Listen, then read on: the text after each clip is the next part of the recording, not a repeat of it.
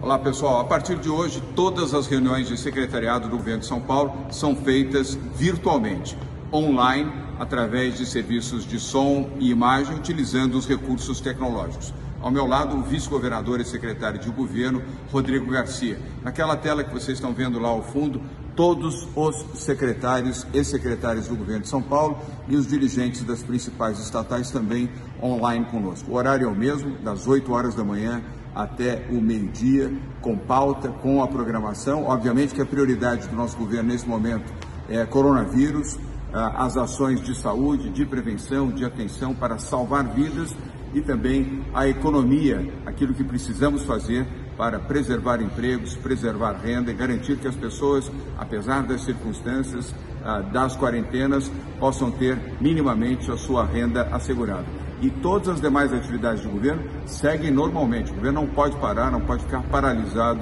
nas suas obras, nas suas iniciativas, apenas redobrando cuidados para que tudo seja feito dentro das normas sanitárias e seguindo uh, as orientações daqueles que fazem parte do Comitê Executivo de Saúde. Portanto, São Paulo já está digital, preservando as atividades do governo, servindo como exemplo para outras áreas de governo e servindo também para demonstrar que nós aqui seguimos ativos, como é a nossa obrigação.